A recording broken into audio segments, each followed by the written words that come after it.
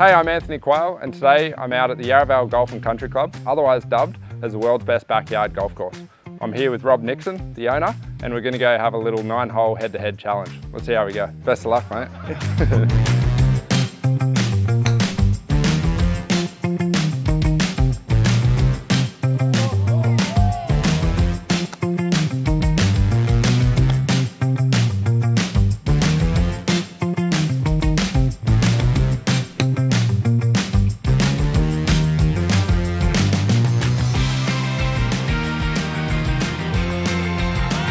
Well, with six holes in, Quayle is two ahead of me, which with a 14 shot swing, seven versus plus seven, I think I'm doing all right. I think the home ground advantage might be worth a few more than 14, but